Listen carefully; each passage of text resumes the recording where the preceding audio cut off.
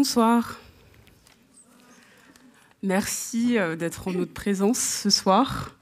Je suis euh, ravie d'animer cette conversation. Donc, je me présente, je m'appelle Jennifer Padjemi, je suis journaliste, critique et écrivaine.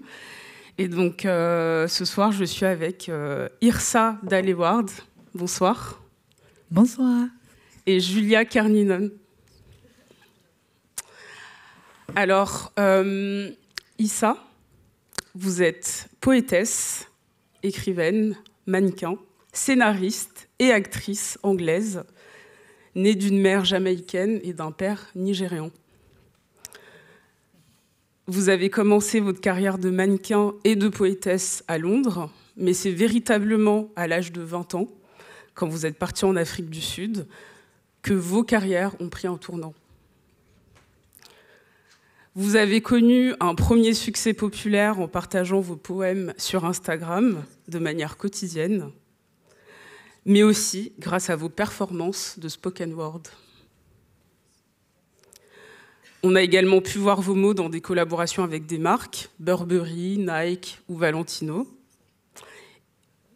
Et vous avez écrit quatre ouvrages publiés. Donc, parmi ceux-là, Bone en 2017, qui a connu un grand succès critique et populaire. The Terrible euh, en 2018 et The How, Notes on the Great Work of Yourself, sorti en 2021 et écrit pendant le confinement. En 2020, on en parlera plus tard, est sorti Black is King, donc le film musical de Beyoncé. Et donc aujourd'hui, on se retrouve pour La vie précieuse qui vient de sortir en France, traduit par Julia Carninon. Alors, euh, Julia, vous êtes écrivaine et traductrice française, docteur en littérature américaine, et vous avez écrit de nombreux livres primés, dont deux sous pseudonyme avant d'écrire sous votre vrai nom, donc principalement des œuvres de fiction, mais aussi deux essais, dont un ouvrage collectif.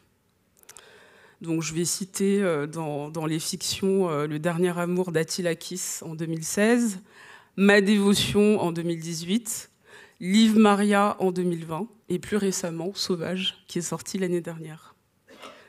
Donc vous avez commencé la traduction d'ouvrages de langue anglaise à française en 2019 avec Ils vécurent heureux et n'eurent pas d'enfants. Et donc vous traduisez aujourd'hui La vie précieuse dit ça. Donc euh, avant de commencer euh, cette, euh, cette, rencontre, on va assister à, à, une lecture par vous deux.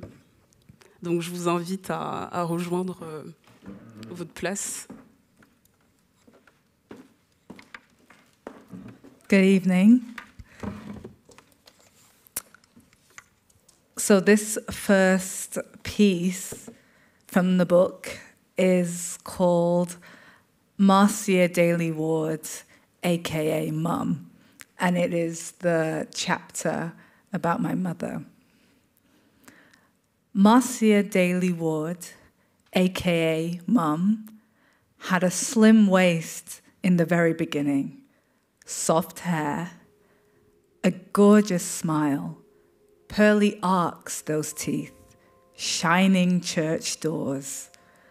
Marcia had smiling eyes, loose hips, could dance as well as anyone on television, lived with her grandparents in Kingston, Jamaica, and she was oh so kind, had some art about her.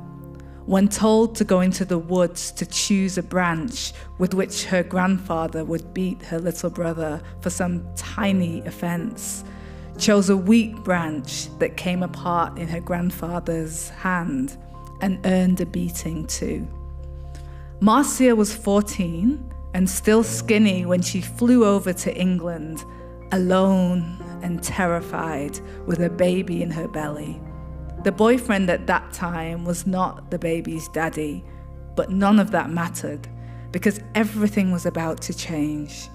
She had been sent for, finally, by her mother, and would be as far away from all of these men as God would allow. She trembled when stepping off the plane. She was about to see her parents for the first time in years.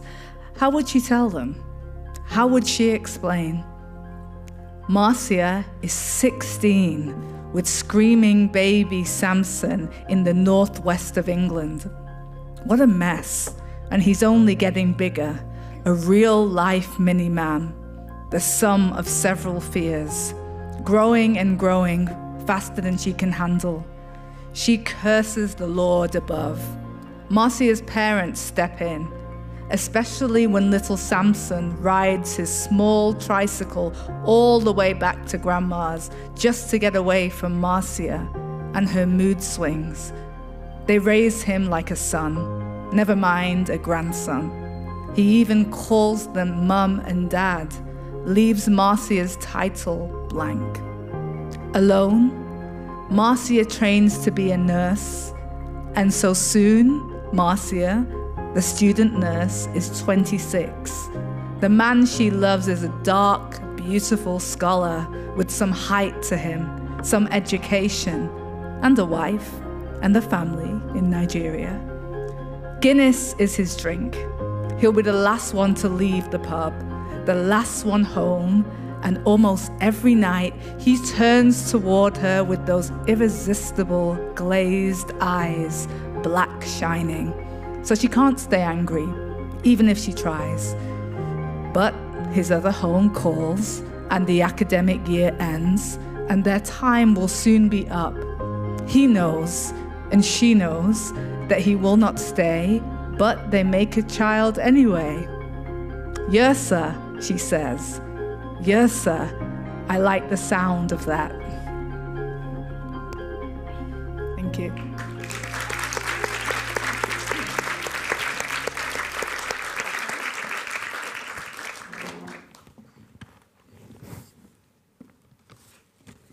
Beaucoup plus grande que moi.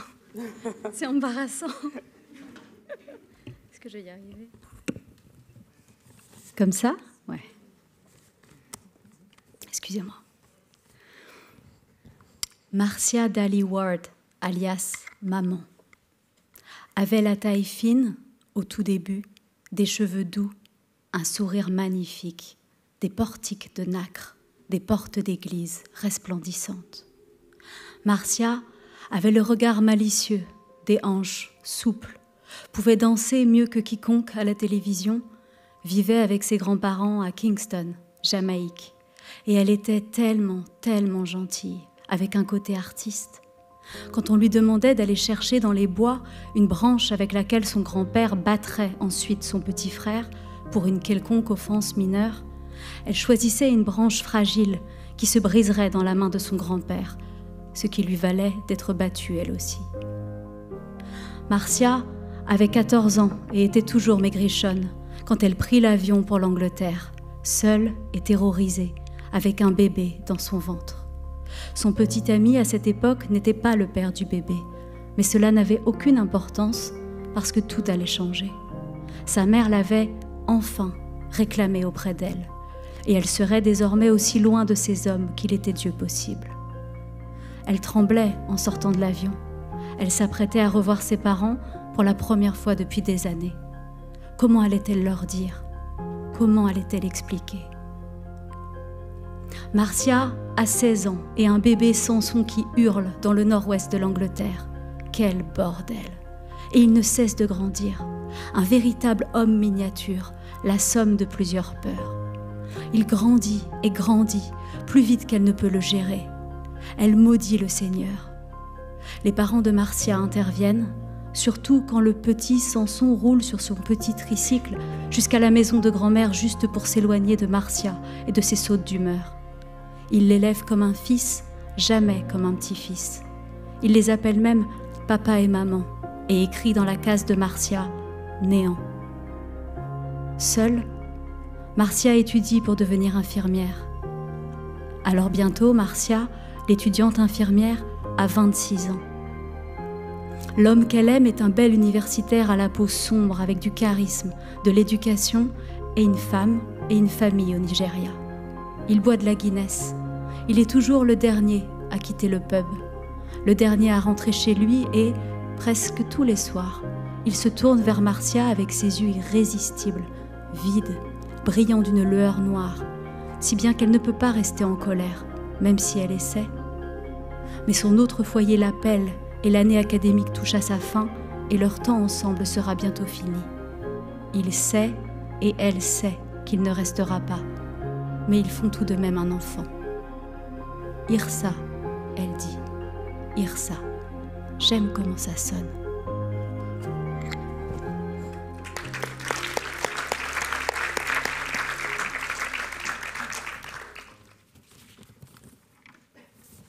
Donc vous venez d'écouter des extraits de La vie précieuse qui vient d'être publié aux éditions de la Croisée.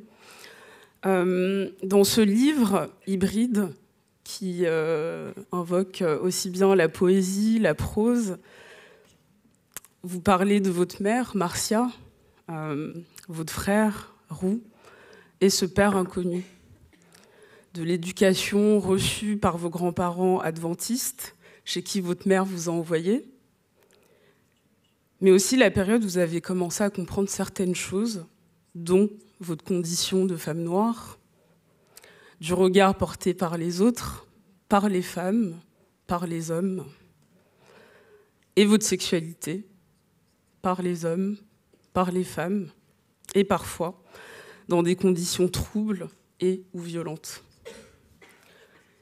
J'ai une question qui me vient euh, tout de suite, hier ça c'est que vous écrivez Tout ce qui me vient, c'est la beauté rend tout supportable. Et c'est quelque chose qu'on ressent beaucoup à la lecture du livre. C'est beau, c'est dur. Et j'aimerais savoir euh, qu'est-ce que vous retenez de votre mère, qu'est-ce que vous avez appris d'elle?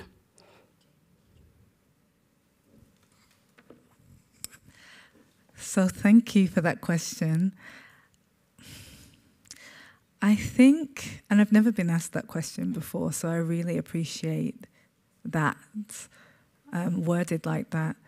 But I think the things that I learned is as a stoicism and you know to really think of the alchemy that occurs when difficult things happen. There's a reason for these things. And I think when you start to view life like that, the poetry of it, it opens things up. You see the spectrum of, of things in your past and things in your present that are less than desirable, and you can use them. You can use everything. So I really that's that's the thing that I learned from her. And she had a, a shorter life than we would have liked, but it's such a powerful message. Je vous remercie pour cette question qu'on m'a jamais euh, posée euh, ainsi. En tout cas, je, je l'apprécie euh, d'autant plus formulée dans ces termes-là. Euh, ce qu'elle m'a appris, ma mère, ce que j'ai appris d'elle, c'est une forme de stoïcisme. Euh, et aussi, elle m'a appris à voir cette alchimie qui se produit quand on rencontre des difficultés. Parce que quand les difficultés se présentent, il y a aussi des raisons euh, qui les expliquent. Et quand on est justement capable de voir, c'est une forme de poésie, euh, la vie sous cet angle-là, on parvient à situer les choses sur un spectre entre le passé, le présent, les choses qui nous sont arrivées, des choses qui sont parfois vraiment tout sauf désirables. Et hum, on parvient à se servir de tout ce qui s'est passé, à percevoir justement cette, euh, alchimie, cette continuité. Et hum, elle a eu une vie euh, plus courte que ce qu'on aurait voulu, mais ce message-là qu'elle m'a transmis est particulièrement puissant. La manière dont vous parlez de votre euh, petit frère, Roux, est très belle. Et j'ai l'impression que c'est peut-être le seul homme de votre vie qui vous a vu, qui vous a respecté. Est-ce le cas? No. I think that in I think that in maybe in the early days when you don't know what to what you deserve then it's easy to it's easy to mm, perhaps look for validation everywhere. But when you do know, then that's what you find. And yeah, I'm lucky. I'm, I'm lucky to have brothers, and yeah, I appreciate I appreciate them every day. But yes, I think again, as just like your first question, it, life is very much a mirror. You get in, you you, you give out, you, you get back. So I think it's it really lies in the perception and, and the intent. Non, peut-être qu'au au tout début, quand on, quand on est jeune et qu'on ne sait pas ce qu'on mérite, euh, ça peut être effectivement, on peut avoir facilement la tentation d'aller euh, chercher une forme d'approbation, de validation un peu partout. Une fois qu'on sait, c'est ce, qu'on trouve justement euh, partout. Et j'ai la chance effectivement d'avoir euh, des frères. J'apprécie euh, leur présence euh, et ce qu'ils sont euh, au quotidien. Mais ça renvoie à ce que vous disiez euh, à votre première question en fait, qui est tout simplement que la vie est un miroir. Donc en fait, ça va dans les deux sens. C'est une question de perception, c'est une question d'intention aussi, mais ça, ça marche dans les deux sens. Là, j'ai une question pour euh, toutes les deux. Euh, que ce soit euh, Irsa dans, vos, dans écrits ou, euh, ou Julia, il y a quand même l'idée que partir aide à mieux créer, ou en tout cas aide à se libérer à un moment donné. Irsa, à un moment, vous écrivez Si tu doutes, bouge. Et donc, est-ce que vous ressentez aujourd'hui encore ce besoin de devoir partir pour mieux créer euh, Moi, l'impression que j'ai eue, c'est que d'être beaucoup partie à l'époque où je pouvais partir, maintenant je suis moins mobile avec les enfants, mais d'être partie autant de fois que je voulais quand j'étais jeune, ça fait que maintenant je peux partir sans partir. Maintenant je peux... Mais ça a été indiscutablement le fait de partir la première fois un moment fondateur dans mon travail et ma construction. Et la première année que j'ai passée loin de chez moi à Budapest, c'est la chose à laquelle je reviens à chaque fois que je doute de ce que je suis en train de faire, de est-ce que je suis capable d'être un écrivain, est-ce que je suis capable de continuer à être un écrivain. Je sais que je suis partie et ça, c'est, le truc qui me tient encore. So I still have my wandering. Uh, and I really I'm I'm blessed to be in, you know, a Venn diagram of of careers, which mean that that comes with the job. So I'm able to create. I've always found that the stability, the hmm. centeredness is, is something I take around with me. So it really doesn't matter where I go. Now it's it's Los Angeles, it was New York. We'll see what happens next.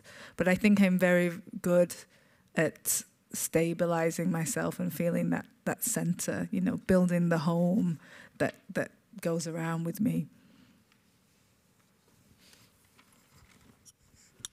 Moi, j'ai toujours euh, mon esprit de vagabondage, mais euh, j'ai la chance d'être à la croisée de, de, plusieurs carrières, et donc c'est quelque chose qui fait vraiment euh, partie du travail, euh, en fait, de pouvoir euh, bouger.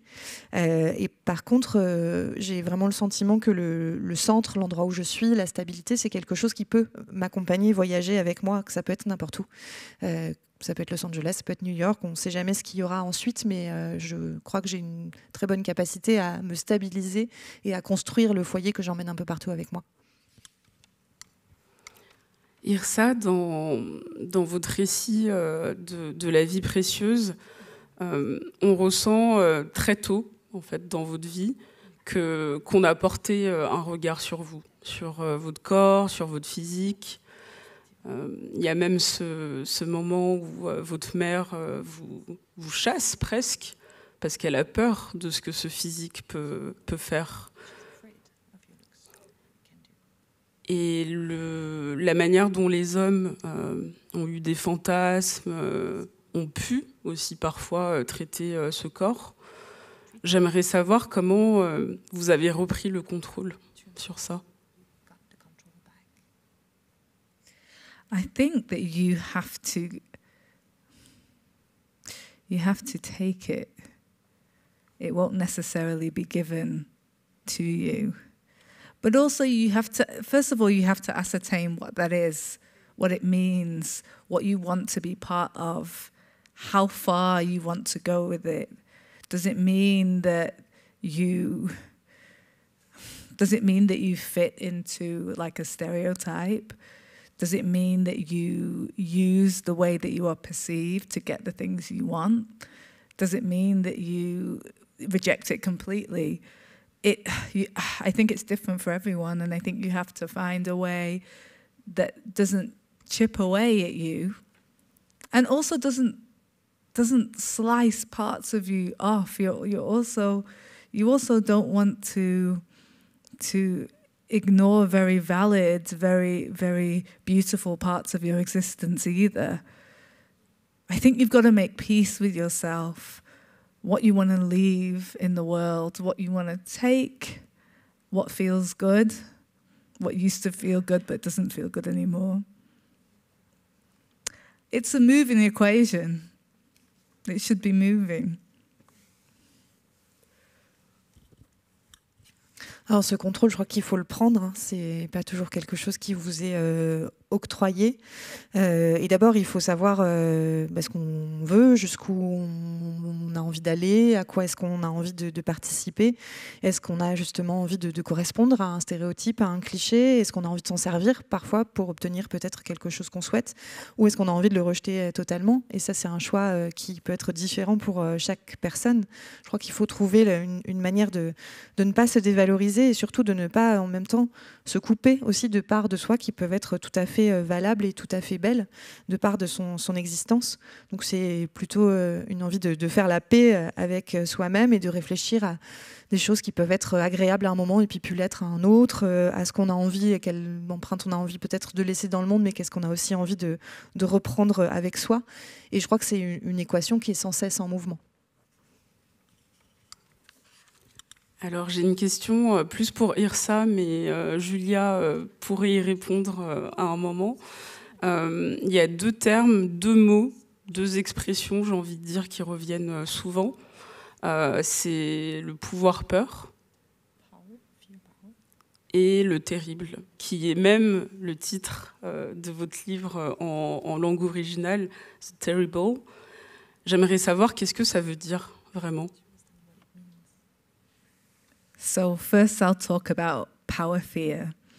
And power fear is the feeling, especially as a, an underage girl, that what you or what is being given to you or what you, you think you have is perceived as powerful and it's also fearful because you're like well what, what will i do with this this thing that seems to control him or him? When it's really it's not your power it's like it's an inverted thing that is still a threat. So that's power fear. You know it doesn't look like it doesn't it isn't what it looks like. And then the terrible was really like my own like tongue in cheek like joke the terrible. The terrible can be a lot of things. It's like this almost this formless monster thing that is hides under the bed or in the closet. It's like it's grief, it's it's fear, it's depression, it's anxiety, it's addiction. It's all of those things that if you do not address it, it, it just keeps coming to you. That's why I call it the terrible. It's like a Dr. Seuss like monster or something that you know is there. It's there. It's there. So it's it's something that's close to you and also part of you and something that you must reckon with to get to where you want to go. So that's the terrible. Not always terrible. Mm-hmm. Alors, je vais commencer par le, pouvoir peur. Le pouvoir peur, c'est cette sensation qu'on a en particulier quand on est encore une, toute petite fille, d'avoir euh, quelque chose, peut-être don, ou en tout cas cette chose qu'on a la sensation d'avoir, euh, qui semble être un pouvoir extrêmement puissant et qui est en même temps quelque chose de très effrayant parce qu'on ne sait pas forcément justement quoi en faire. C'est euh, cette sensation ce, que ce, don, ce pouvoir, ce qu'on possède, exerce une influence sur cet homme ou cet autre homme, et en même temps qu'il est, un, en est un pouvoir, il est aussi une menace. Donc c'est quelque chose qui n'est pas tout à fait euh, ce qu'il paraît être. Et le terrible, c'est presque une, création ironique, une façon de, faire une sorte d'humour noir là-dessus. Euh, c'est beaucoup de choses à la fois le terrible.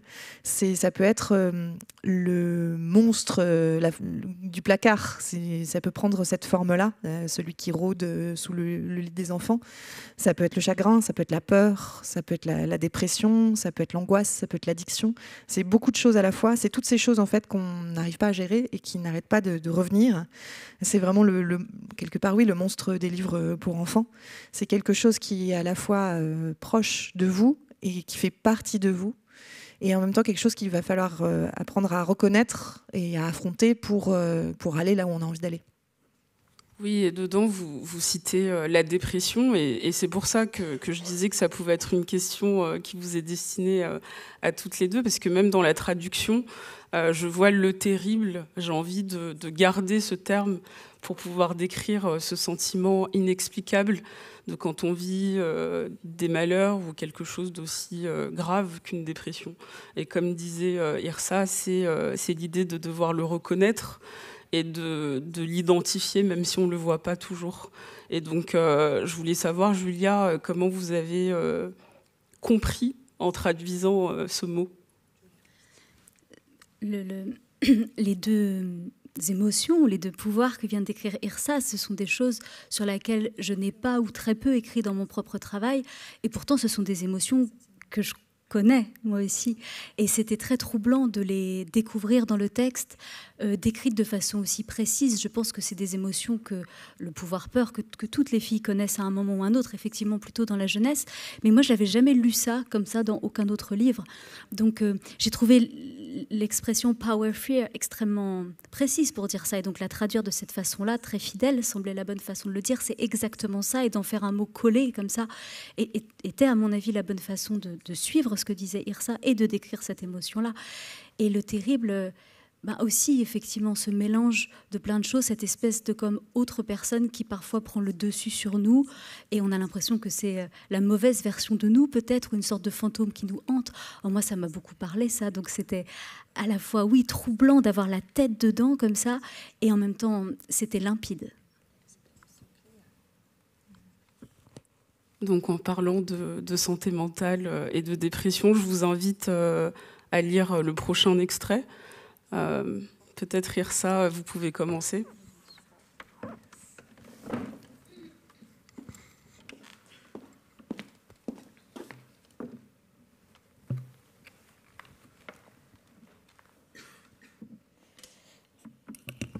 Okay, the next part is chapter 13.9, or how it begins. Your friend's dad likes to joke about the length of your legs, asks you why you're not a supermodel yet, tells you he's sure you'll go far if you try. You like the look in his eyes when he says it. 14.0 your friend's dad is looking at you. Your friend's dad likes you. Your friend's dad says, Look, I can't have you walking home at this hour. Put your bike in the back of my car and I'll take you. There is musk in his voice. Just like that, something shifts, and you know something, and he knows something, but nobody knows for sure. You have something to trade, and you're not sorry. Smile back at your friend's dad in the rear view mirror. Hold his gaze, daunting as that might be. Let him drive you home again, and let him say again that you've got legs that go on forever. Notice it takes him 20 minutes to drive you home when you live 10 minutes up the street. Feel good about that. Know that He wants to be around you. Play into the power fear. Pretend you dropped your purse and stretch out on the back seat like a cat. Smile at his confusion in the dark. Then say thank you and bolt quickly soon as he pulls up to your front door before he has time to do or think a thing, before he has an issue. Feel funny when you get in the house and relieved, the wrong kind of tingling. Make an excuse the next time he wants to drive you home. With a pert black body and a wet, wet mouth, maybe anyone's dad can be yours. You're the danger.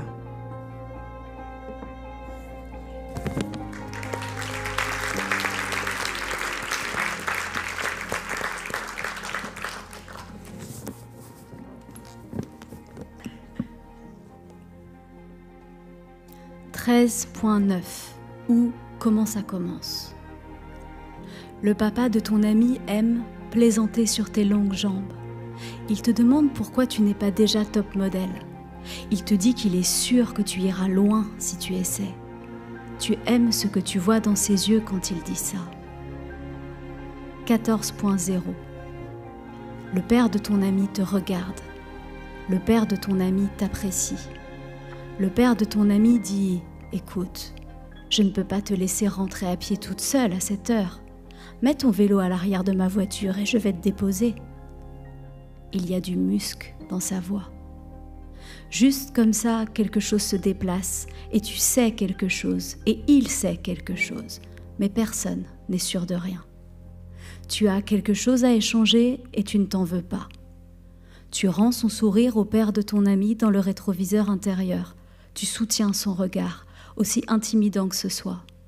Tu le laisses te ramener chez toi, encore, et tu le laisses dire encore que tu as des jambes sans fin tu remarques qu'il met 20 minutes à te conduire à la maison, alors que tu vis à 10 minutes. Tu te sens à l'aise avec ça. Tu sais qu'il recherche ta compagnie. Jouer du pouvoir peur. Tu fais semblant d'avoir laissé tomber ton sac et tu t'étires sur le siège arrière comme un chat. Tu souris de son trouble dans l'obscurité et puis tu dis merci et tu files en vitesse dès qu'il s'arrête devant ta porte d'entrée, avant qu'il n'ait le temps de dire ou de penser quoi que ce soit avant qu'il n'ait un souci.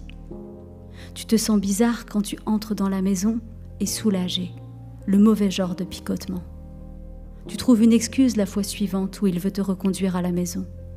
Avec un corps noir aussi rebondi et une bouche mouillée, mouillée peut-être que n'importe quel père peut être à toi. C'est toi le danger.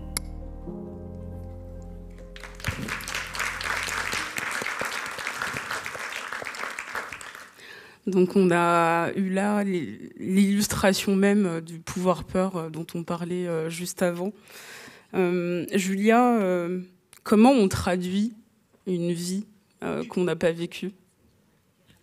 Comment est-ce qu'on traduit un livre qu'on n'a pas écrit? C'est toujours pareil.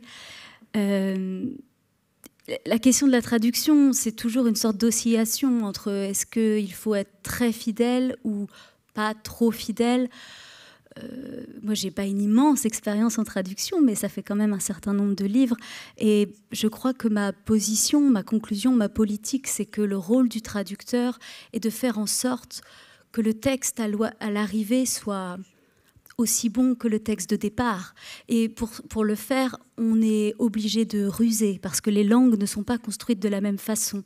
Et donc, euh, il y a certaines choses que je trouve extraordinaires dans la langue anglaise qui, sont lié de façon trop précise à sa grammaire et que donc je ne peux pas reproduire en français. Il faut, il faut, il faut trouver des, des dérivatifs, d'autres façons de le faire. Donc, euh, traduire un texte, pour moi, c'est vraiment rentrer dans la matrice, lire ce livre comme, à part les autres traducteurs, personne ne le lira en réalité. Un auteur ne peut, je crois, pas lire son propre livre d'une certaine façon, et les lecteurs le liront peut-être dix fois, mais jamais autant de fois que nous, les traducteurs, on le fait. Donc, je rentre dans le texte en essayant d'emmener avec moi mes connaissances de la langue française et, mon ignorance du texte, tant que je l'ai pas sillonné de tous les côtés. Et j'essaye d'entendre la voix de l'auteur ou de l'autrice et de lui faire honneur. C'est ça.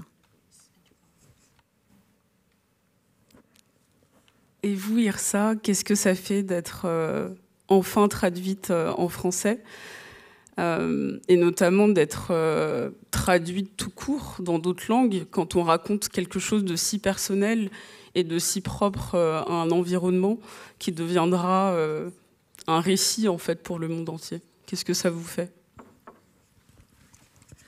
I think that you have to let go of, let go, just let go, and trust that the person in whose hands this text is can can service their language and their culture. And I think it's easy for, for poets to become so rigid because we say things a certain way. But I trust it. And this is the first translation that I have some hope in hell of, of reading and knowing what's going on because I studied French. So, although my speaking French is not good, it's when I see the words, I can see that I can see like the diligence of the of the text and how how it how it it melts. It, it just it just feels like something's, you know, the essence has been melted into another language, and it's a great feeling. Yes. So thank you, Julia. Je crois qu'il faut euh, lâcher prise euh, avant toute chose et, faire confiance à la personne euh, entre les mains de laquelle le texte se retrouve, faire confiance à sa capacité justement à servir sa langue, à servir sa culture. C'est facile quand on est poète en particulier d'avoir une forme de rigidité parce qu'on dit les choses d'une certaine façon, donc une tentation de la rigidité. mais cette traduction-là, en tout cas, c'est la première pour laquelle j'ai un petit d'espoir de pouvoir euh, lire le texte, euh, puisque j'ai fait du français, j'ai étudié le français, même si je ne le parle pas bien, euh, je, suis capable quand même de lire les mots et de voir avec quelle diligence justement il a été traduit, avec quel effort, et, de percevoir une forme de fusion, le, sentiment que, que l'essence du texte s'est fondue dans une autre langue. Alors, vous, vous êtes une poétesse, et il y a un terme qui est beaucoup revenu quand euh, vous avez été révélé euh, au grand public, c'est Instagram poète, que vous embrassez, mais que ça vient pas forcément de vous. Euh, mais je, je, sais que votre utilisation des réseaux sociaux, et notamment récemment sur TikTok, vous êtes présente et vous, vous, avez, euh, vous avez annoncé que vous aimeriez euh, poster euh, un poème par jour, ou en tout cas essayer pendant l'année. et j'aimerais savoir comment votre relation avec les réseaux sociaux a évolué depuis justement que vous avez commencé à publier en ligne.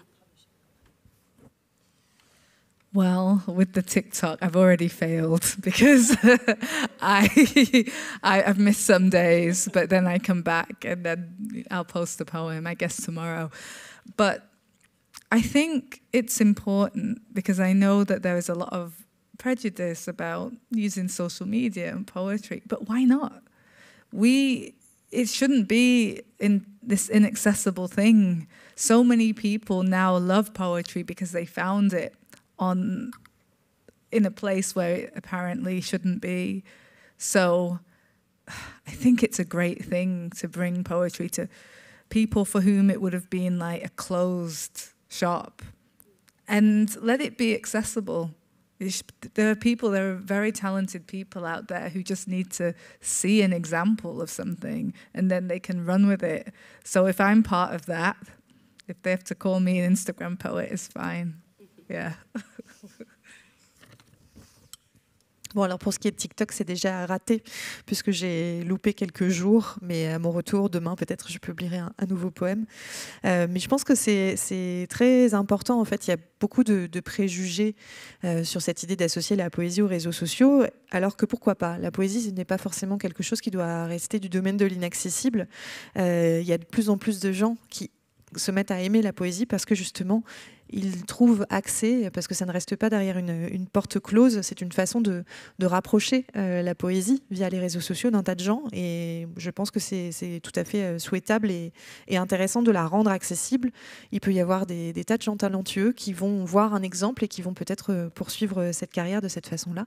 Et donc si je participe à, ce mouvement, eh ben, on peut m'appeler poétesse Instagram, il n'y a pas de problème pour ça. Julia, vous avez aussi euh, une relation en tant qu'écrivaine avec les réseaux sociaux. Euh, est-ce que vous avez l'impression d'avoir évolué par rapport à ça ces dernières années? Est-ce que c'est un outil euh, que vous trouvez intéressant? Pourquoi? Je me sens pas très, je me sens pas très efficace dans ce domaine-là. non, c'est pratique, ça fait une interface, ça permet de moi, j'utilise les réseaux sociaux. Pourquoi Je sais pas. Sur Instagram, des trucs de nouvelles, des trucs de. J'écris pas de texte sur Instagram. Je pose des photos pour me rappeler. Ça sert d'album photo. Alors, il y a tout un débat de est-ce qu'on doit exposer comme ça sa vie publique. Mais il me semble qu'il y a des problèmes bien plus graves et j'arrive pas à m'intéresser à celui-là du tout. Et puis, c'est vrai que c'est un truc complètement contemporain, c'est-à-dire que quelqu'un lit notre livre et veut savoir où nous trouver. Et, c'est un espace comme Instagram, en l'occurrence, c'est entre le privé et le public. Alors ça semble un truc assez pratique de ce point de vue-là. Mais je pensais que vous alliez plutôt me parler de slam, à vrai dire. Je pensais que vous alliez me poser des questions sur la poésie. Oui, c'était la prochaine question. Parce que votre passé justement euh, de, slameuse que, que, vous revendiquez plus forcément, parce que j'ai même vu euh, une interview où vous dites que vous avez arrêté euh, il y a une dizaine d'années. Plus Combien d'années? J'ai arrêté quand j'avais 18 ans, ça fait presque 20 ans. Ma question justement, c'était le, le, lien entre la poésie et le slam en France. Le slam a été un peu décrié parfois, euh, vu comme une poésie euh, moins, euh, moins grandiose, moins belle. Qu'est-ce que vous retenez justement de cette période? J'y pensais avec ce que disait Irsa sur le fait de rendre la poésie accessible à tous et de ne pas écouter des grandes voix qui voudraient que ça appartienne seulement à certains endroits. Moi, j'ai pratiqué très activement le slam entre mes 15 et mes 18 ans, donc c'était les premières années du slam en France. Le slam qui avait donc été créé par un ouvrier à Chicago qui proposait de lire de la poésie dans les cafés pour, pour la faire descendre de son piédestal et la donner à tout le monde. Et mon souvenir de ces trois années vraiment très intenses, c'était extraordinaire. C'était extraordinaire ce qui se passait sur les scènes slam à Paris, mais aussi en province. Ensuite, Grand Corps Malade, qui, est merveilleux, a émergé tout ça pour des raisons évidentes de, talent. Et puis le slam est devenu quelque chose qui a été beaucoup plus lié à, à la musique. Et puis petit à petit, quelque chose a disparu. Mais ces trois premières années, dont moi je ne voyais en plus que des bribes, parce que je vivais à Nantes et donc je venais à Paris, mais j'étais pas au cœur du réacteur. Oh mais quel endroit C'était des, cafés bondés, et puis il y avait le vieux monsieur qui vient dire un poème sur sa femme qui est morte, et puis il y a le rappeur qui, qui progresse sur son texte de scène en scène, et puis il y avait des anciens chanteurs de rock qui venaient faire quelque chose, et puis des héritiers de plein de choses différentes, et puis une toute petite fille comme moi qui venait écrire des poèmes nuls, mais on était tous ensemble, et c'était aussi une communauté d'échange, d'apprentissage. Le slam à une époque, ça a été vraiment un un chaudron extraordinaire de créativité, d'amitié, de, d'espoir et, d'une énergie complètement dingue. Et c'est important, je trouve, de ne pas oublier ça. Et pourquoi vous avez arrêté? La, scène changeait et je grandissais.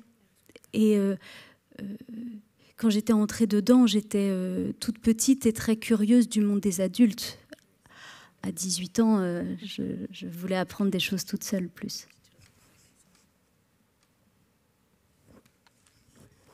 C'est le lien euh, que, je voulais faire entre le slam et la poésie.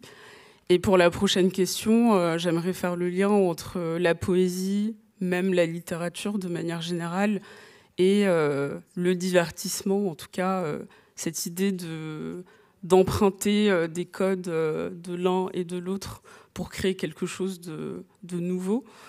Et euh, je pense qu'il y a plein de personnes dans la salle qui aimeraient savoir, euh, Irsa, votre, euh, votre collaboration avec Beyoncé. Oui, cette question, elle est arrivée, forcément. well,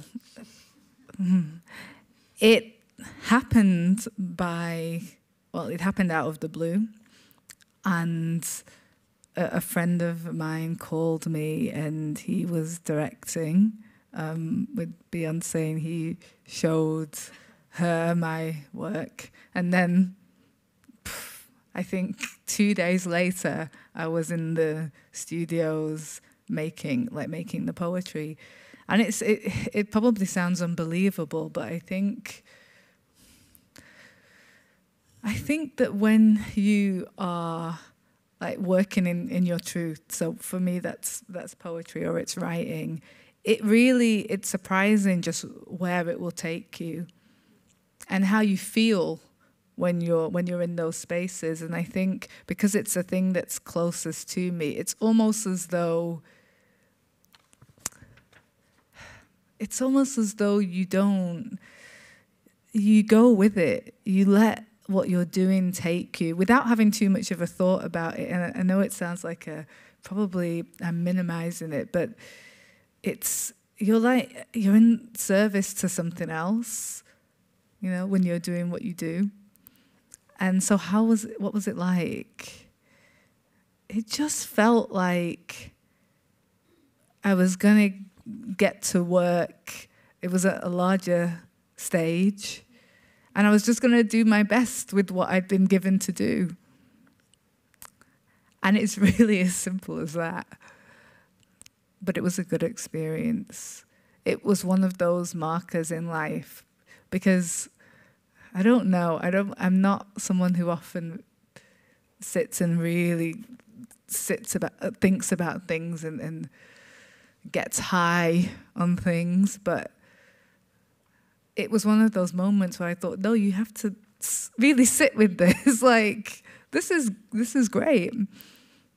And then and then I was back home, and yeah, some things in life are, are dreamlike, but they are they're, they're part of the story, and I think that coming from this is significant, if not always for me, for someone else who's watching. C'est arrivé un peu euh, sorti de nulle part en fait. Euh, un ami à moi euh, qui travaillait avec Beyoncé euh, m'a appelé, il lui avait montré mon travail. Et en fait, deux jours à peine après, j'étais en, studio à, enregistrer ses, poèmes, à travailler sur ses poèmes. Donc ça, ça paraît complètement incroyable, hein, je m'en rends bien compte, mais je crois que quand on fait ce qu'on fait et qu'on fait quelque chose qui est justement euh, aussi euh, intime, aussi euh, proche vraiment de, notre essence même, il y a une, façon de se laisser porter. En fait, on, suit le mouvement et c'est ce qu'on fait en fait qui va nous entraîner dans une direction sans qu'on ait même pleinement conscience de ce qui est en train de, se passer. Je sais que j'ai peut-être l'air de minimiser cette expérience et ça a été une expérience incroyable, mais je crois que quand on on fait ce qu'on fait, euh, on fait le travail que, nous faisons, la création que nous faisons, on est au service aussi de quelque chose qui, nous dépasse.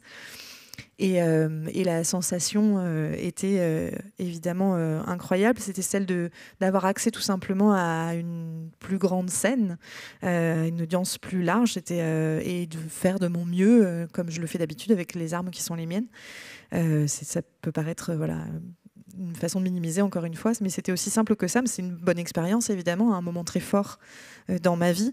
Je suis pas quelqu'un qui a tendance à, beaucoup réfléchir aux choses ou à s'emballer euh, ou se laisser enivrer par, euh, par ce qui arrive, mais c'est un de ces moments où je me suis dit là quand même il faut que tu absorbes ce, truc-là parce que c'est incroyable ce qui arrive. Et puis il y avait ces poèmes, voilà. Mais des fois la vie peut ressembler à un rêve, mais en même temps ça fait toujours partie de l'histoire. Et, euh, et, encore une fois, j'espère que ça, ça, peut aussi avoir un sens, pas forcément à mes yeux, à moi, mais aussi euh, d'autres qui peuvent, euh, qui peuvent regarder ce qui, ce qui se passe dans ces cas-là. C'est une question pour, euh, pour toutes les deux, euh, et notamment, je vais commencer par Irsa, parce que votre prochain livre sera de la fiction. Et j'aimerais savoir, euh, pour toutes les deux, comment vous faites pour passer d'un genre à l'autre et quelle est la difficulté en fait que vous rencontrez de, passer d'un genre à l'autre? Well, my God, I've been trying to get to the fiction, but I think, and, and I thought that the terrible, I thought that this book, after the collection of poetry, would be a fiction book. but there was too much in the way. And it turned out to be my own story. I would never have elected to write my own story with my personal things in that I always thought were just going to be for me. And they still are mine, but mm, not really. It's, it's something else now. So I tried to get to the fiction a long time ago. Now that this is, is there and it exists, there is space to, to dream things up. And so I, so I find that quite a seamless movement because it's fiction is what I consume, it's what I love, and I think it's been waiting to happen. I just think that my life was such that there were things to get through first. So now that that, that is through, this is this feels like a holiday, honestly.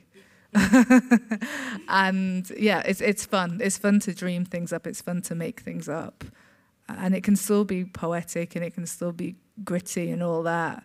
But yeah, now I get to invent in a different way, and yeah, I love it. It's like swimming to me. Not that I can swim because I can't. Non, en fait, j'ai vraiment essayé dur hein, d'arriver euh, à la, fiction. Et euh, après euh, le, recueil de, poèmes qui a précédé ce, livre-là, je, pensais en fait que ce livre serait un livre de fiction. Mais il y avait trop de choses qui entravaient encore le, passage. J'aurais jamais pensé, rêvé, enfin, imaginer écrire cette forme aussi euh, personnelle, y mettre autant de moi, des choses qui m'appartiennent et qui m'appartiennent toujours, mais qui ont pris une autre forme dans ce livre. Euh, mais je crois qu'il fallait que j'en passe par là pour pouvoir euh, aller vers autre chose. Donc vraiment, ça fait longtemps hein, que je voulais en arriver à la fiction, mais il a fallu que ce texte-là existe, euh, si personnel, pour faire de l'espace justement pour autre chose. Et euh, la transition, elle me paraît euh, totalement fluide parce que la fiction, c'est ce que je, consomme, c'est ce que j'aime, c'est ce qui me plaît. Donc, et puis encore une fois, je, n'attendais que ça. C'est simplement que la vie que j'ai vécue fait qu'il a fallu en passer par d'autres choses pour parvenir jusqu'à la fiction. Mais aujourd'hui, je prends énormément de plaisir. C'est comme des vacances. Je peux inventer des choses, je peux imaginer, créer des choses tout en ayant toujours euh, une dimension aussi extrêmement poétique et, des tas d'autres choses. Mais j'ai vraiment l'impression, euh, pour moi, que c'est comme, euh, nager, me jeter dans le grand bain, même si en l'occurrence nager, je ne sais pas faire. Vous, Julia, vous êtes plutôt spécialiste de la fiction et c'est la non-fiction que vous avez moins l'habitude de, d'écrire. Comment vous, voyez les deux genres dans, la différenciation d'écriture, d'approche euh, de ressentiment?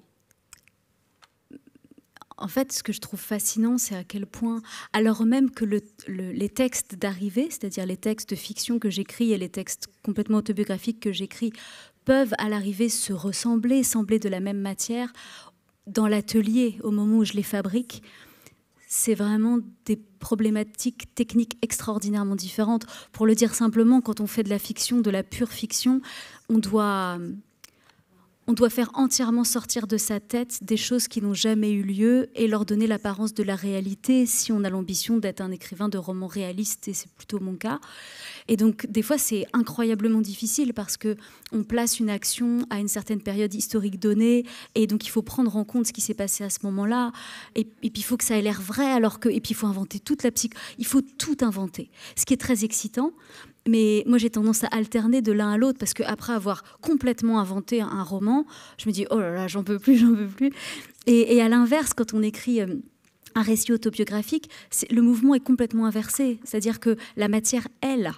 La matière, c'est l'intégralité de ce qu'on sait, de ce qu'on a vu, de ce qu'on a retenu, de ce qu'on a entendu. Et dans l'immensité de cette matière, on a le luxe de ne sélectionner que les éléments qui sont romanescables, ceux dont on, ceux dont on peut faire texte, langue, quelque chose de joli, et, ou de joli ou de pas joli, mais en tout cas qui, qui raconte quelque chose.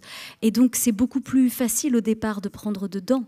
Et en même temps, cette matière-là, elle est plus engageante parce que bien sûr qu'on soupçonne toujours les écrivains de s'étaler dans leur fiction, et ce n'est pas toujours vrai, mais, mais si on décide d'y aller frontalement et de signer un texte en disant ça c'est autobiographique, on se met dans d'autres draps aussi.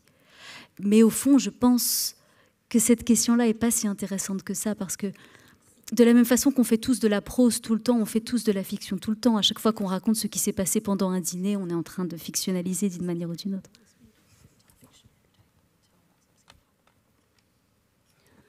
Pour euh, le, mot de la fin, avant de vous laisser euh, la, parole pour euh, le dernier, le dernier extrait, je pense qu'il y a beaucoup d'écrivains en herbe ou confirmés dans l'audience qui sont venus vous voir, notamment Irsa. J'ai une question pour toutes les deux et ensuite une question spécifique pour, pour Irsa. C'est qu'est-ce que vous vous diriez euh, à, ces écrivains, à ces personnes qui aimeraient écrire mais qui doutent euh, qui doutent parce que écrire c'est parfois difficile. Euh, quels conseils vous donneriez à ces personnes? I think that it would it would depend upon what the question is and what the difficulty is. I find it a refuge And I also go to write to surprise myself and to make life rich by, again, I think I said in an earlier question, I'm not someone who you know is always taking stock all, all the time. I, I like to to to work it out on the page sometimes. I think it's a great voyage of discovery writing. And I think that so many people would find such solace in it, or at least some understanding, or at least order their thoughts onto something tangible that they can see and touch. And there it is, the, the written evidence. So I would say, even just to find yourself, even if you never share it, just to just to write for I, I always talk to people who I mentor about free writing you know just just writing without editing or second guessing yourself for 10 minutes and make a practice of it and see what meets you on the page what is confronting what do you really think about the thing that you never say you never tell the person what do you want them to understand what what are the things that you would ask for if the answer could not be no, if you were going to be granted it. All these questions, these questions that hint at something explicit and something, you know, under your seams. Write an, and experiment and, and, and see what it is. I think it's just it's a good voyage of discovery. So I would say just do it. Yeah. Je crois que ça dépendrait évidemment de la, question posée, de la difficulté que, peut rencontrer la, personne. Pour moi, l'écriture, c'est une forme de, refuge, mais euh, j'écris aussi pour me surprendre. Et j'écris euh, tout simplement pour rendre la vie euh, plus intéressante, plus riche. Euh, comme je l'ai dit tout à l'heure, je suis pas quelqu'un qui passe son temps à analyser ce qui se passe ou à faire le bilan, mais je crois que parfois j'aime le faire euh, sur la page. En fait, pour moi, écrire, c'est une façon aussi de, découvrir, de se découvrir. C'est vraiment un très bon moyen euh, pour ça. Et je crois que beaucoup de gens y trouveraient sans doute une forme de, consolation ou peut-être au moins une forme de, compréhension ou tout simplement le fait d'ancrer les pensées, les réflexions qu'on peut avoir dans quelque chose de tangible, le fait de laisser tout simplement une trace écrite, cette objet, euh, même si on le partage jamais, même si on écrit que pour mieux se connaître, pour mieux se comprendre et qu'on ne le fait jamais euh, lire autour de soi. Euh, quand j'accompagne des gens qui, ont cette aspiration-là, je les encourage toujours à, écrire de façon automatique, à, expérimenter pendant 10 minutes une écriture totalement libre, sans, sans douter, sans, revenir, sans se regarder faire, et de voir ce qui se passe, ce qui se passe quand on, laisse la plume euh, écrire ce qu'on aurait vraiment envie de dire ou, les questions qu'on aurait envie de poser si les réponses pouvaient être accessibles. Je pense que tout ça euh, fait partie euh, d'une forme d'expérience en fait qui permet de toucher à quelque chose d'intime et de faire sortir des choses de soi. Donc pour moi, l'écriture c'est avant tout un, un, voyage de découverte et donc je répondrai à ces personnes just do it.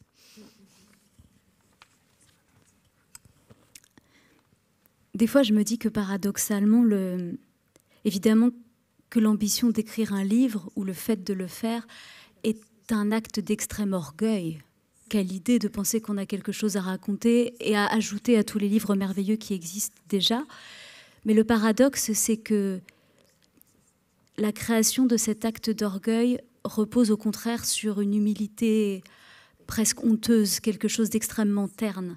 Et donc peut-être qu'un truc à savoir pour écrire, c'est que tout ce qui va se passer dans l'atelier, toute la préparation, ça va être des actes d'un ennui cafardeux presque, de la répétition, de la correction, être impitoyable avec soi-même parce qu'ensuite l'éditeur le sera et les journalistes et bien sûr les lecteurs et c'est comme ça que ça fonctionne. Et donc peut-être qu'il faut apprendre à aimer toutes ces opérations a priori très ennuyeuses, aimer le pur travail.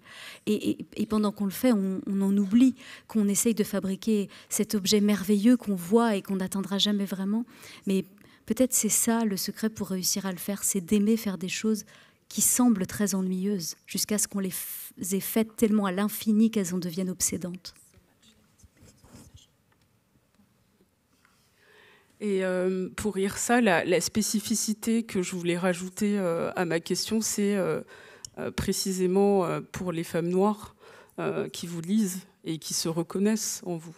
Est-ce que vous avez quelque chose à leur dire? Alors, je ne vois pas la salle, mais j'imagine qu'il y en a dans l'audience. et est-ce que vous avez un message spécifique?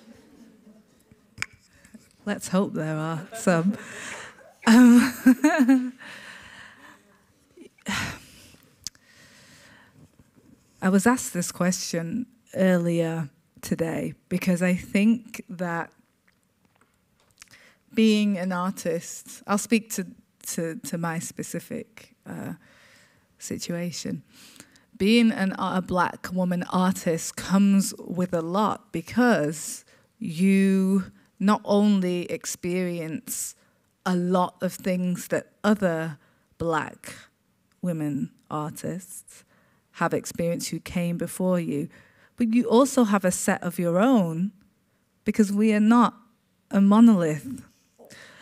And so you are faced with the, I would say, tricky task of being expected to speak for everyone who can't possibly have had your experience come from different places, have different family setups, and yet you, you want to address them because it means something and it's important, and we must see each other and we must see people that look like us. There's no way to do it right. All I can do is show up as honestly as possible and talk about things and hope. I mean, there's been there, was, there were so many times when, not even writing it because I didn't allow that to come through when I was writing, but in the after the publishing of this in um, the states and particularly the UK, when it was very uncomfortable to have something like this out, it wasn't all roses. But it's important to say, this is me, or some iteration of me, and everything is possible. You know, now I'm sitting here doing this, and it's a fantastic experience. What would happen if I had been like shamed out of it or too afraid to talk? What's the point of that? It's a life.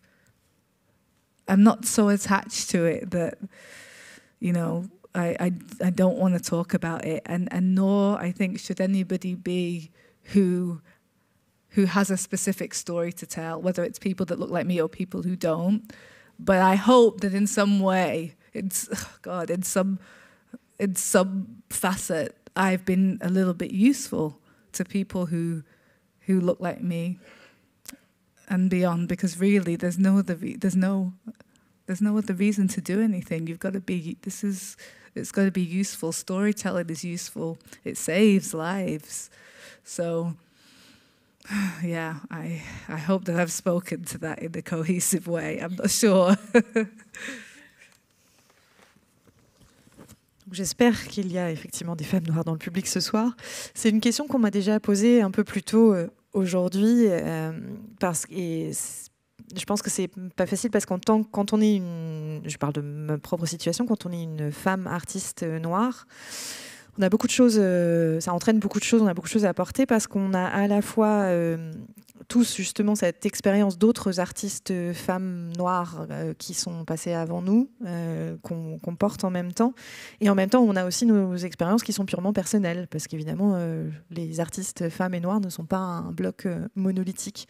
Mais il y a les deux à la fois et c'est ça qui est, qui est, pas évident parce que on s'attend à, ce qu'on parle au nom d'un tas d'autres qui n'ont pas nécessairement le même vécu, qui n'ont pas nécessairement le, même, la même origine, le même contexte familial, la même histoire.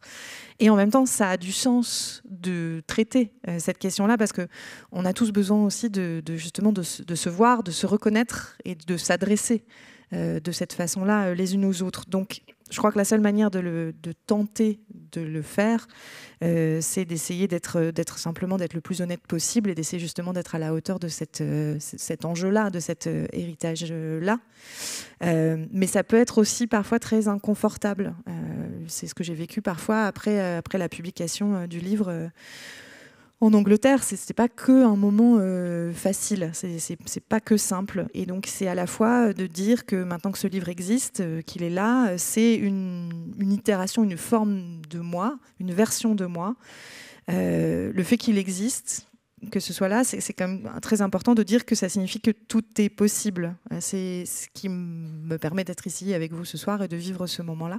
Et ça, c'est assez fantastique. Et si on m'avait empêcher, décourager en fait d'écrire ce, récit-là, de cette version de moi, euh, par honte ou parce qu'on m'a dit que cette vie-là n'était pas intéressante, ben, qu'est-ce qui se serait passé? Et je pense que c'est très important que ce message-là soit passé, justement, que ce soit à des personnes qui me ressemblent ou pas. Euh, celui que quand on a une histoire à raconter, personne ne devrait vous décourager de le faire. Parce que raconter des histoires, euh, c'est extrêmement utile euh, c'est quelque chose euh, qui, peut sauver des vies même. Euh, donc j'espère avoir, en le faisant, été utile à d'autres que moi, qu'ils me ressemblent ou pas. Merci beaucoup Irsa et, Julia. avant de leur laisser la parole, je, vais juste vous dire une... vous pouvez acheter un livre dans la librairie en face. Et donc, euh, IRSA euh, fera une petite séance de dédicace euh, à l'entrée. Merci beaucoup. Je vous laisse la place.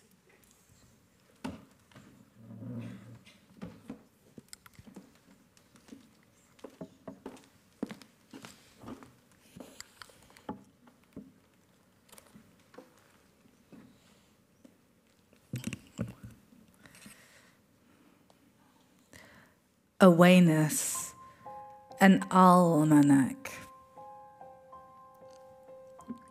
The terrible meets a strange man in a bar who tells you that black people in his country are lazy, and the terrible jumped right out and almost stabbed him. The terrible shocks you in ways that you could never imagine, tripping you up, doing things you shouldn't do, and things that you wouldn't do making a fool of you. It is shifty and sometimes invisible, sometimes on holiday. A good decision here, some abstinence there, some moderation there.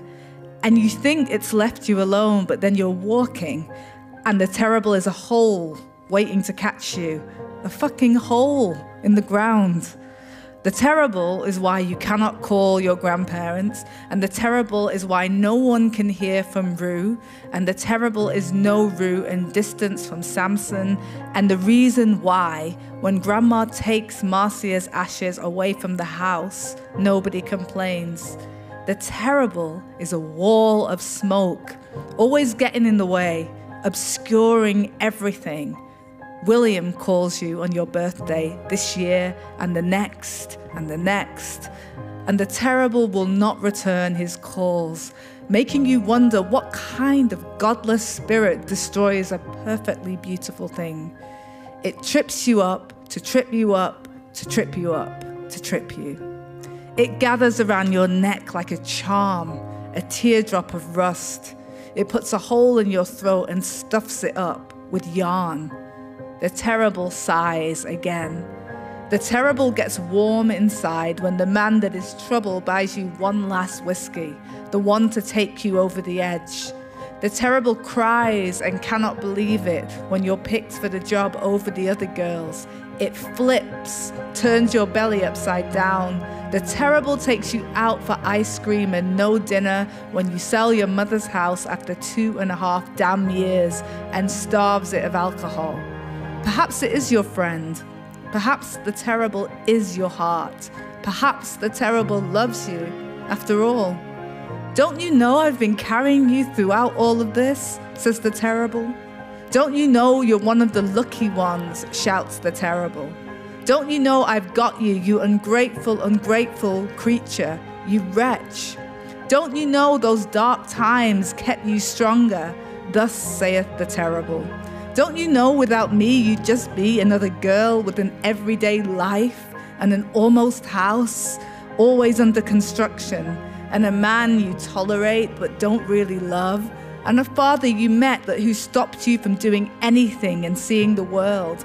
Don't you know you'd be a boring woman with bills and a horrible job and wrinkles around her eyes and babies and babies and a mortgage and savings and boring sex? or no sex, and a lukewarm life. Don't you know I kept you safe? bellows the terrible, its yellow eyes gleaming. Don't you know I gave you the best timelines, a glittering story, a punchline, a reason to live? Don't you know the drugs didn't kill you? They could have, or should have, and never did? Don't you know your life has been one magic spell cast over the other? Are you stupid? screams the terrible. Well, are you? Don't you know that without me you die, die, die in the mundane? Have you learned nothing? Don't you know you earned resilience? Don't you know I kept you rich? No, I didn't think so, sniffed the terrible, shaking his, her, their heads violently in the wind, turning away from each other and the world. And why did you never love me? demands the terrible. Her, his, their glittering yellow eyes wet with rage. Thank you.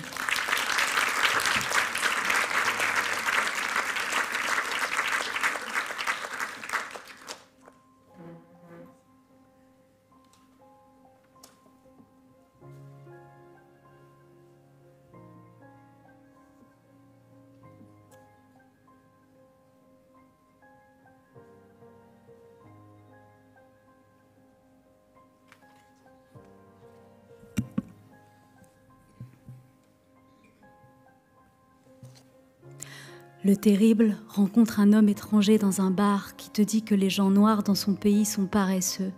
Et le terrible lui saute immédiatement dessus et le poignarde presque. Le terrible te choque d'une façon que tu n'aurais jamais imaginée. Il te fait trébucher, il te fait faire des choses que tu ne devrais pas faire et des choses que tu ne ferais pas. Il te ridiculise.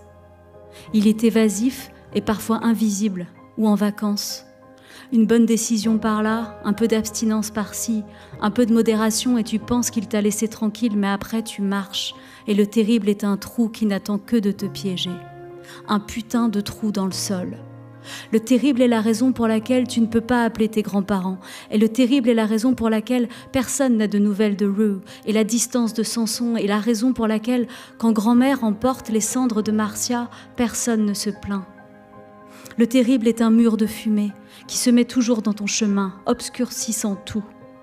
William te téléphone le jour de ton anniversaire, cette année et la suivante, et la suivante, et le terrible ne le rappelle pas, te poussant à te demander quel genre d'esprit impie détruit une chose si belle.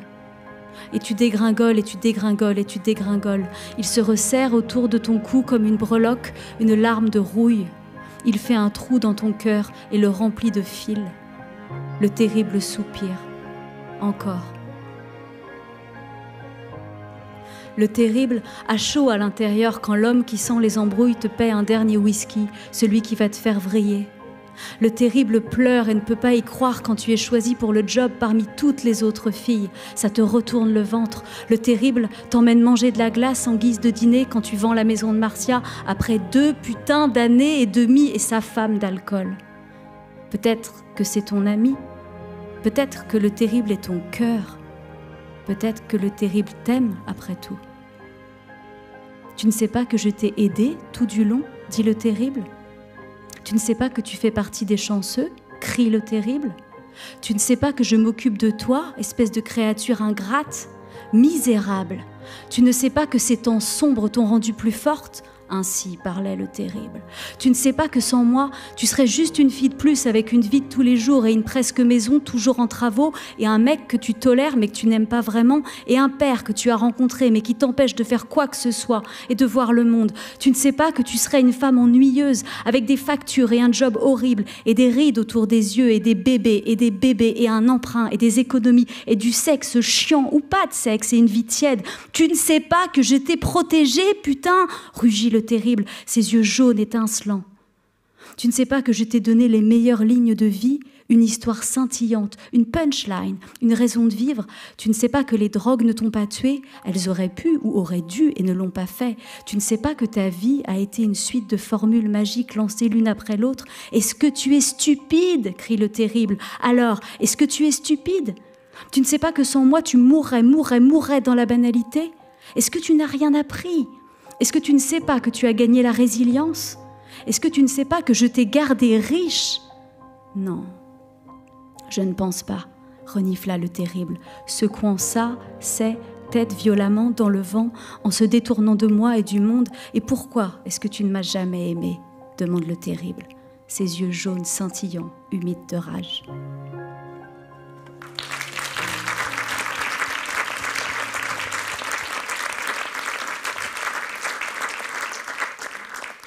Merci infiniment, Irsad Aleward et Julia Carninon. Merci. Et merci pour euh, la traduction interprétariat.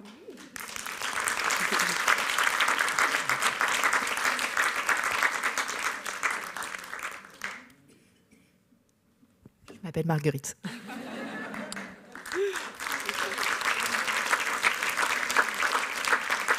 Donc vous pouvez retrouver euh, Irsa euh, à l'entrée pour euh, une petite séance de dédicace. Merci beaucoup.